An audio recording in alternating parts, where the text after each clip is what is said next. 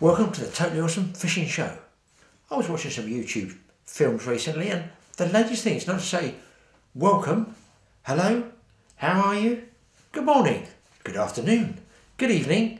You have to say, yo, what's up, guys? What's up? Uh, what's up? A bird? A plane? Some clouds? What on earth does what's up mean when you're greeting somebody? Hey, what's up? I don't know what's up, so I'm going to continue saying very Englishly, Welcome to the Totally Awesome Fishing Show. Let's get on with it. I've been sent these things. Friend sent me some second-hand ones. He said, I don't use those, Graeme. Maybe you can find a use for them. Maybe you could catch a chub on a pen. Now, we used pen rods before. Hugely successful little fun things they are. The enjoyment factor is quite immense. So he sent me a couple here. This is just a standard pen rod. Comes out like this, extends out. I do like the pretty blue and I do like the fact that it's got the original pin cap on it there. So I'm going to try this one and they're saying go and try and catch a chub. Now for those of you who don't know, the chub is a river species in the UK and they live near snags. I suppose they're a bit like largemouth bass when you think about it. They live in a sort of snaggy type area, so when you hit them, it's a sort of hit and hold a lot of the time. Is a pen rod going to be up for hit and hold? Okay, fine, let's put that one there, but I've got a bigger one, a slightly bigger one. And the problem with some of the pen rods is they don't collapse. So he's extended this one because I can see that he's got one joint that won't fully go down. That's a little bit longer, this one. In fact, it's a good deal longer. That's almost one third of a fishing rod. He's about 10 inches longer. So what I'm going to do, I'm not quite sure about this wobbly butt bit here, is I'm going to put freshwater reel on I've got here, let's get the glasses on. Because chub, my other reels have got, I don't know, 10 pound line on some of the ones they came with. So the this one is like four pound line on, That's more of sort of match fishing refined type reel. Oh dear, problem number one. Turn that round, maybe I've got this on the wrong way, I don't know. Oh no, oh no. The reel I wanted to use, this one, the reel feet, I'll just show you so you know, the gap of the reel feet is actually longer, the pen rod's so small. If I undo any further, the nut comes off the end, the locking cap to hold the reel comes off the end, and I can't get enough space on there. So, problems number one, would it fit the other rods? And the answer to that is patently obvious, no. Ah, let's blow plan one out. So I'm going to have to use my smaller pen reels, which I'm hoping, let's put this one down, will fit one of these rods. Let's get it. Now, the problem here is these are dinky little reels that come with other pen rods, but just standard. This one's got to fit on there, surely. I'll tell you what, guys, it's going to be a, a close run thing. Yeah, that one's going to go on. Okay, so I could potentially be back in action. Look, they're only for fun. They're fun rods. That's all they are. I think anybody would profess to say they're 100% a pure, straight-on, hardcore fishing rod. It's a bit of fun. My problem being with chub, they're finicky, and where I'm going is just hammer beyond belief. Most of the fishing in England is, and they're not having this ten-pound line. So I've, I've obviously got a big gap there. I'm only going to be fishing a small stream. Put that down there. I think I'm going to top this off with some four-pound line, and fingers crossed I can get like 30, 40 yards on there, which is more than enough because I'm not going to be casting 30, 40 yards. So let's just top that off with some fine line. I might do the same, put the other small reel on that rod as well, do exactly the same, and maybe try rig one up with a ledger and one up with a float. The float I don't hold out much hope for. I don't think I'll be able to cast it, but that's why I need this thinner line because the thick line through these tiny little rod rings here is not going to be good for casting. I've got to get really, really close to these fish in this stream. They'll be spooky. So I think I've got to go to four pound line minimum. And fingers crossed, I can get some on here.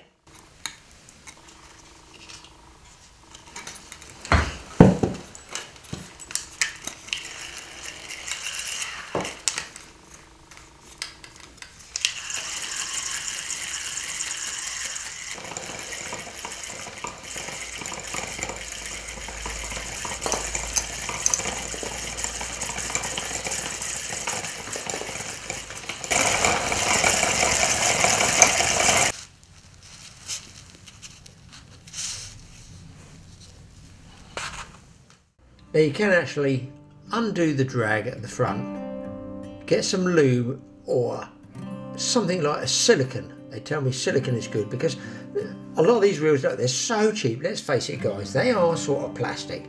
But if you put some lube on there, some silicone or anything like, I'm stolen some of Mike's bicycle lube there. Um, it just makes that drag slip a little bit smoother. And bear in mind, I'm on slightly lighter line now, so you won't give me like 10 pound line. It can be a sticky, jerky drag, but I want to make as smooth a drag as I can. So uh, there you can see, I'm only on four pound line. I don't want to be too tight, otherwise, you know, the shock of a fish might actually bust me off. For float, I'm using double rubbers, top and bottom. Yes, that's what I said. I'm on double rubbers. Been a wet day. Anyway, you can see this little ring at the bottom to put your line through the bottom end of the float. I could thread it through there, but I'm actually using here a second piece of valve rubber to pinch the float because I don't want it to move when I do strike.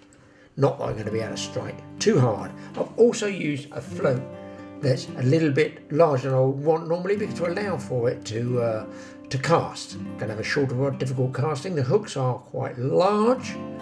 Going to tie them on I think maybe something like a size 8, 10 or 4 would be about good if you're using bread, which is what I intend using, trying to catch something halfway decent.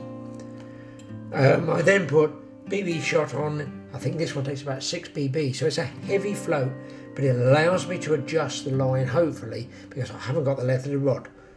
Now for the link ledger, I just use a link like this of doubled line, just a piece of reel line it's going to make my small link ledger. I then thread another piece of main line through, tie a hook on, dead simple, blood loop, tie a hook on, snip off the tag end, and I can use this for ledgering.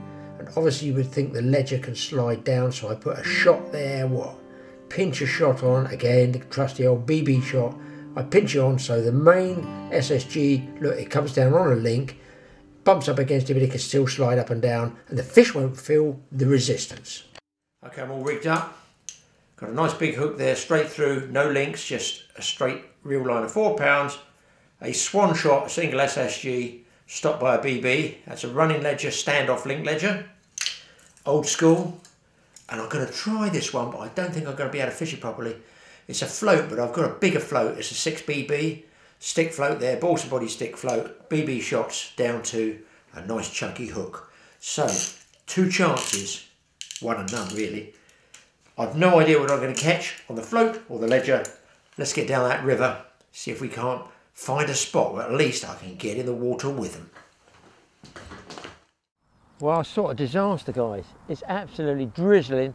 The wind has come, which they said would come tomorrow, and the weather front's come through quickly. The drizzle goes over my glasses on the camera lens there, plus I can't see through the water, so it's not looking good for penrod fishing. The other thing is, to mash my bread up, I need a small bucket. I've left the bucket in the car. I've also put two pounds in the car park charge machine, and a man tapped me on the shoulder and said, did you see that it says it's free on Sundays? I said, I do now. It's nothing like supporting your local council by giving them two pounds for absolutely nothing. So it's turning into a really good day.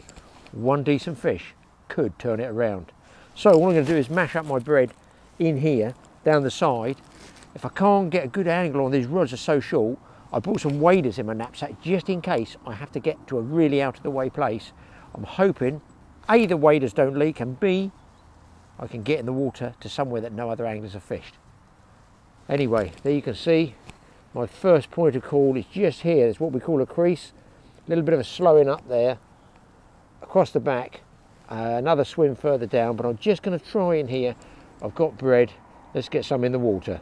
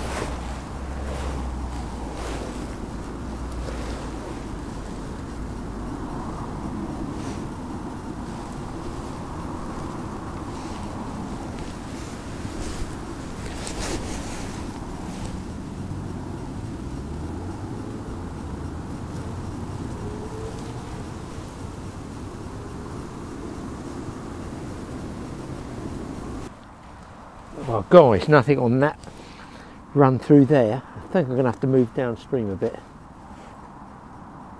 I hear the traffic roaring. Oh, there's a ring falling off. That's good. That's why he gave me the rod, I see. And it's bent.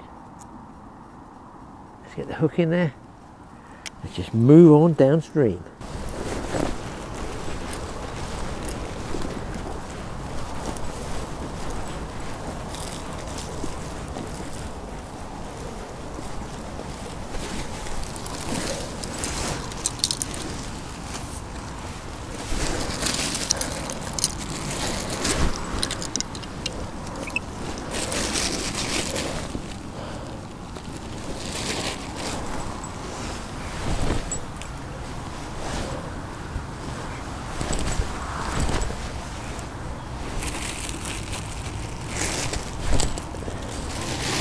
Well, guys, I've moved down. The wife phoned me, so I've had to listen to the wife for 10 minutes. And that's given me time to, uh, obviously, I was listening to the wife and watching the swim while I was listening to the wife. And I've seen a chub move in there, but he's, I can't tell you how close he is. I fear if I cast, I might spook him, but I've got no choice. I've got to give it a go. If the float spooks him, we're going to try and free line a, a piece of bread flake past him. I can see him there, and I've thrown bread in. I can't quite see whether they're taken or not, we'll give it a shot.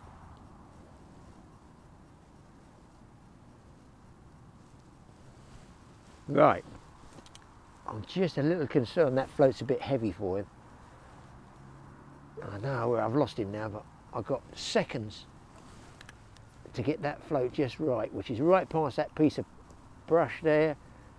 If it goes down any time now, it could be a chub. Missed him. I've got to let it go through because if I wind in too quick, it's going to spook the chub. He's probably spooked by me and the wife's phone call anyway. Try again. I just have a feeling that. Oh, guys, do that nut up on this thing. I just have a feeling that the float might be a bit too big, but we're going to do about six trots down and see if we can make that chub come out. I've no idea whether he's going to hit it or not. It's sinking, sinking, sinking. Well, that's a good run through. That was a good run through, guys. That one, that didn't disturb anybody. I barely moved that float. Barely moved it. I'll let it go down. Just in case there's one laying down the back. The problem being with these little pen rods is, look how far I've got to lean out.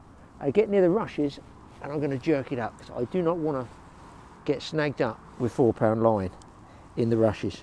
And the sky is looking ominous cars are just churning along the, the roadway.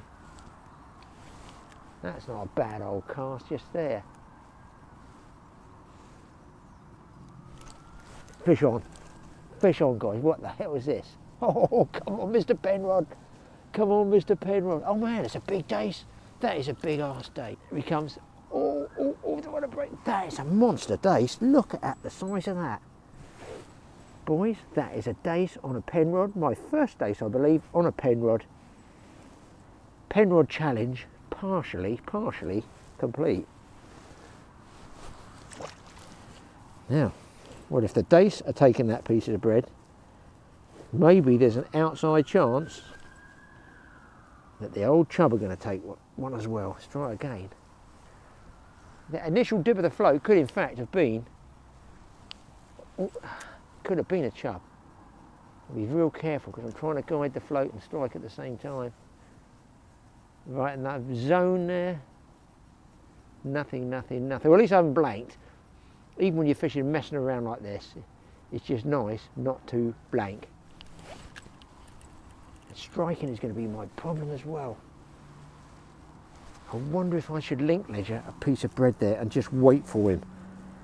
It's a job to know what to do, to be honest, because that catching that dace has obviously put him on red alert. See, those shot too close to the float. It's so shallow. I'll tell you what, cast's okay, this rod. That's with that lighter line. There we go. There we go, there we go, there we go. He's gone right through a nice depth. I can't really go any more deeper. If I snag the bottom, I might not be able to pull out of the uh, pen rod if I do get snagged up. I might have to move downstream. It's annoying because I actually did did see the chub there. Wow, is that windy. I'm going to try the link you guys. That wind is howling, it's vicious. Chances are fading rapidly. That rains, it's not going to look good. Okay, hook out. Man, this rod's tiny. The other one feels like a, a full-on match rod compared to, with this little chappie. That's what I don't want to get snagged up. Same situation. Piece of bread on the hook. Bigger piece of bread this time. Let's have a go. I used to do this quite a lot, rolling a piece of ledger around. That's not good. I don't really. I'm gonna have to touch ledger this.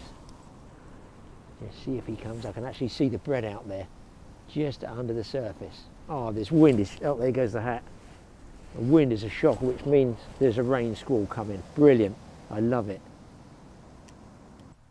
Can't get that chub to take, guys. I've got one more swim. The weather's just unbelievably disgusting, but there is a swim down there. Oh, fish just rose. That's a piece of crust he's taken, I think. If I can creep just down the margins here, go in around this left-hand side and get up there, there might be a chance. I've no idea whether the sound's working on this mic at all. Testing, testing, one, two, three, and all that. No, I think I'm going to...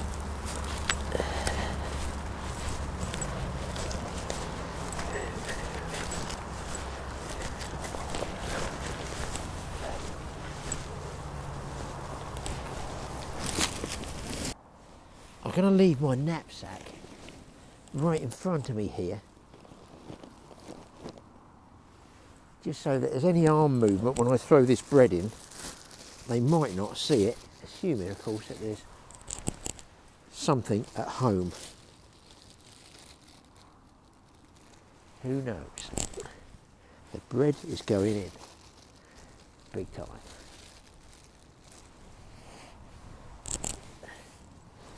Might be able to get something to come out. There's some snags over there too. Right, I'm going to go and try the float again. I just feel that's going to give me the best shot getting a fish. I can't believe I didn't bring a bucket for the uh, to mix up that ground bait. Who knows what will happen? We'll give it a shot. That float is definitely a bit on the lumpy side for this swim at this close range too. There's a strange smell around here. I don't know whether I'm actually kneeling in some dog excrement. Oh, there's a treat going up my shoe. A little worm. I should run, little worm. That's it, run and hide. Okay, out we go. No, too close. Ridiculously too close, Graeme. What a stupid child you are. Now I've got to let it go all the way through so I don't spook the chub if they're at home. I'm sure that wasn't a bite, actually.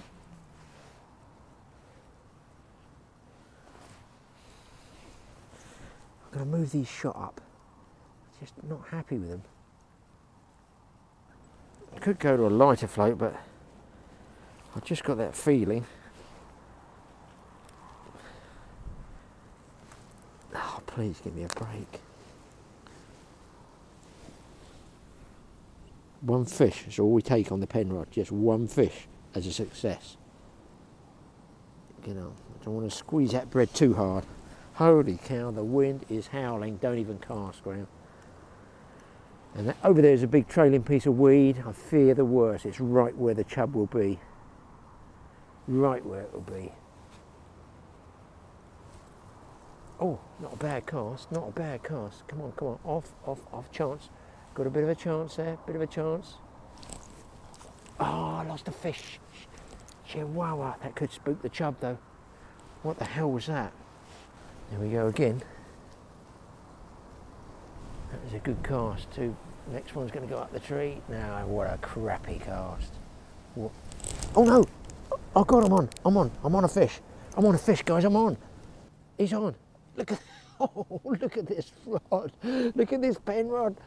It's definitely a chub. It's definitely a chub. I can oh, oh, Jesus. Oh man, I gotta watch this drag. I've got to watch this drag and the head cam and the fact. Oh, he's in the bushes. Now we're in deep doo doo. Oh, it's a big chub. Big, big chub. Big chub, guys. Big chub. He's trying to get in the weeds. I'm trying to pull the weeds back. I cannot get any further out. Get him, but oh no. Oh no. Oh no. Please don't break. Please don't break. Can I spook him out? Nearly, nearly. Oh, come on. I just want to. Oh, yes, get in there, you beauty. Yes. Holy cow. That fish has got to be. Whew, mama, three pounds. Let's take, check him out. Nearly trod on that one. What a beaut. Oh man alive. Look at that chub. On a Penrod. Hook fell out. That was lucky. Do you know, I think the fact is, you can't pull the hook in too hard because you can't really strike, can you? Oh, yes, please. Yes, please. Check that fish out, ladies. What a beauty. Shows you the Penrod works. I figure today might be a tough one. It is, but come up with a nice fish. I'm going to put him in downstream. I don't want to spook any others. Should there be any others there, keep down low. Keep low. See, a nice hole over the back there. See, I could probably put him in here. Probably fall in here. There he goes. Gone. Beautiful. Result. Well, people, I was really pleased to get that big chub right at the last minute. A bit of a tough challenge, but the Penrod came in good at the end. Get yourself a fistful of Penrods. They're not expensive. I think Mike says they're just over £10, £12, something like that. Give it a go, a bit of fun. You can always change the line on them and obviously go a bit heavier if you want, like I did. Strip the line off, put some light line on there. Great bit of sport, great bit of fun. That's all they are. We're not saying they're totally serious, but look, come on. It's teeny, it's tiny, it's just a laugh. Thanks for watching the Totally Awesome Fishing Show. Don't forget to hit that subscribe button on both channels. TA Outdoors, which is going on numbers, huge numbers. Anyway, we'll see you next time. And don't forget, if you want to support us, the latest and greatest. I've even got a hoodie this time. Yeah. Man, I feel so cool. It's unbelievable. An old age pensioner in a hoodie. Don't see many of them, do you? We'll see you next time. And who knows, I might even be catching something larger on a Penrod. See you next time.